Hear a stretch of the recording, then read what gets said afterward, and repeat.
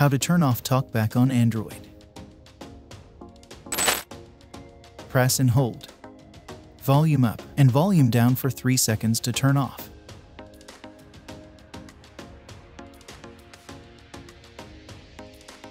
You turned off TalkBack.